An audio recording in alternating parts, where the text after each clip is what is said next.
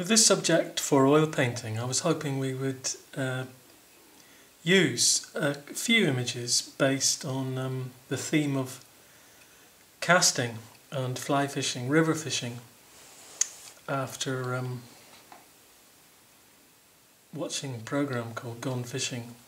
So this image has some interesting properties which I'll look hopefully look in, into a bit more the light coming across here would work as a glaze and this the abstract properties here would work with different brushes uh, perhaps an old house decorating brush or even a worn out um, washing up brush. So those couple of things if you've got them lying around that would be good.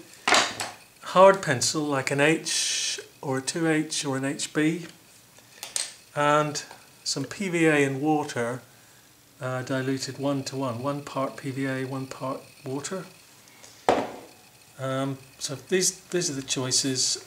Um, that that image and this one uh, all of casting um, in rivers and lakes, and this one casting.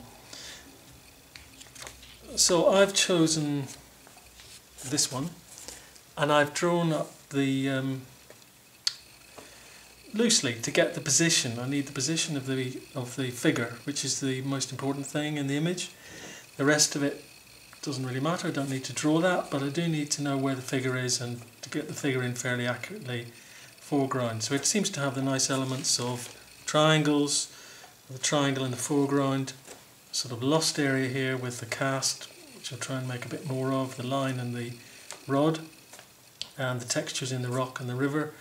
This would suit sfumato and then when that's dried this would suit glazing with translucent layers of whitish or opaque, semi-opaque glazes and this would suit um, perhaps laying on with something unconventional uh, on top later. So we work from thin to thick paint traditionally in oils.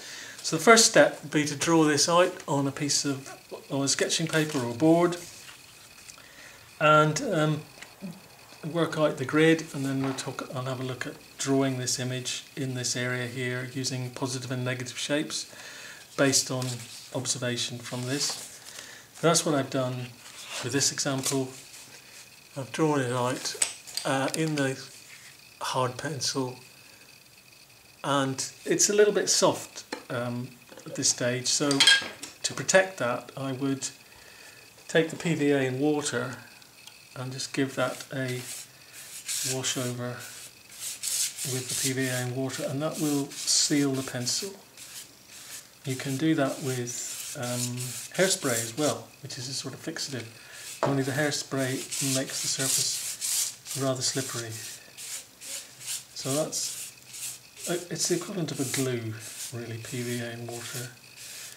Give that a bit of a stir.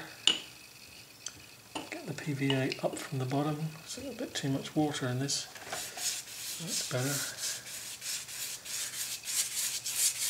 I'll just do that all over the whole image.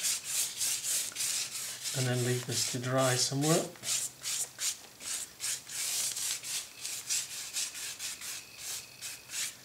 So once that's dried, it'll be ready for painting on. And the next stage, looking at sfumato and blurring and blending.